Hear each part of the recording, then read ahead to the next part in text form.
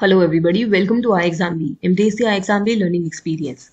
In this video, we are going to talk about SEBI IT 2025 exam. We are starting a new batch from 30th of November for preparation of SEBI IT exam.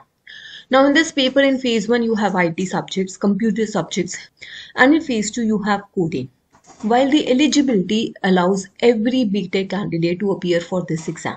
So whether you are BTech in civil engineering, mechanical engineering, IT, aeronautical engineering, any kind of BTech, you are eligible to appear for SEBI IT exam. Your age should not have exceeded 30 years as on the cutoff date and it is clearly stated bachelor degree in engineering in any branch or bachelor degree in any discipline with postgraduate degree which is of 2 years post graduation in computer science, computer application, information technology.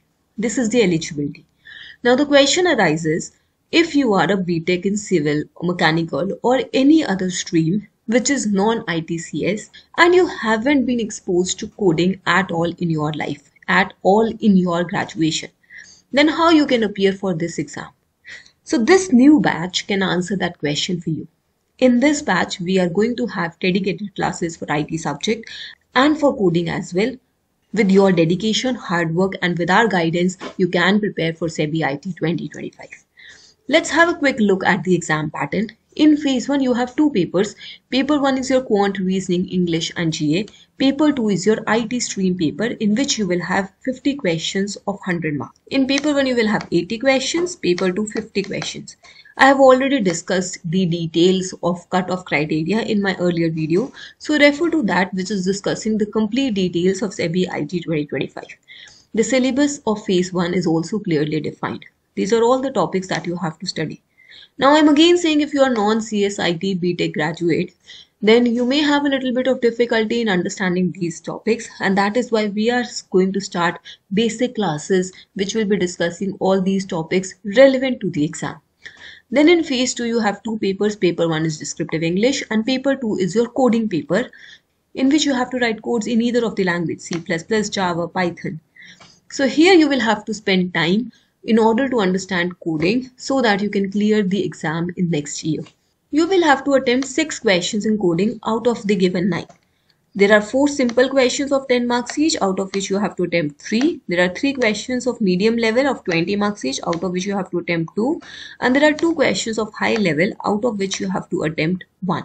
So 6 questions out of 9 have to be attempted in coding. You have to run various test cases. You have to clear those test cases on the Parikshak platform which is shared by SEBI. In phase 2, this is the syllabus from which you can expect codes. 30 marks codes will be from algorithms, 40 from data structure, 10 from string manipulation and 20 marks questions will be from OOPS concepts, object oriented programming. These are the concepts from which you can expect the questions. You have to be prepared with these topics and this is where this batch can help you in your preparation. This is your SEBI IT live class schedule, the new batch which is starting from 30th November. You can download this from the description and check out the various details, how the classes are scheduled. Your phase 1 paper 1 which is quant reasoning, English and GA, the classes are conducted on a regular basis. QRE classes are daily from 10 am to 1.30 pm. For general awareness there are two classes every week. Then for descriptive English there is one class every week. And these will be your IT classes. Every week there will be two IT classes. One will be based on the concepts on the topic and theory. Another will be based on programming. Monday will be reserved for your concepts and on Thursday there will be corresponding related practice of programming.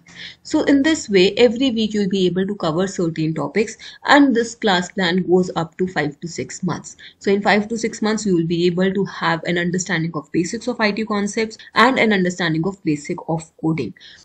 Along with these classes, you will also have to practice on your own. You will also have to refer to various programs and for that you can use the LeetCode platform.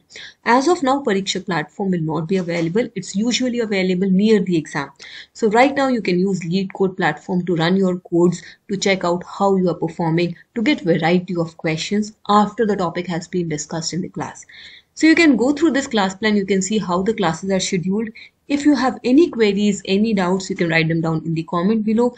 You can also reach out to us on this number.